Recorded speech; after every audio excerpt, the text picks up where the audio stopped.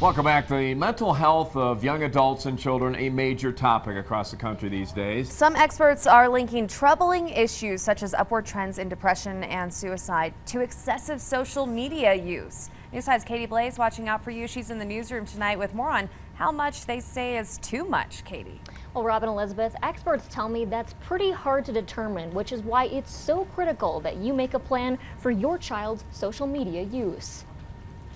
From Facebook to Twitter to Snapchat and Instagram, social media is at the tips of young people's fingers. Using social media has become so much more commonplace in our society. While Dr. Susan Verity says it can be helpful, maybe people who feel isolated can feel like they're connecting with others who might have similar problems. It can also be very harmful. Unsupervised social media use uh, by young people could be causing this uptick in uh, mental health problems and even suicide. Things can pop up on there that you aren't expecting, that you're not looking out for. It has also really increased uh, bullying, cyberbullying. Another issue with social media is just the flooding of images. And because adolescent brains aren't fully developed until people reach their 20s, there can be a lot of impulsivity. For kids to harm themselves and in some cases, others. If we can prevent uh, a trigger that could lead to something, an impulsive act, I think you know we will have really done our children um, a good service. And there's some simple ways to prevent those triggers. Exercise, team sports. Once it's a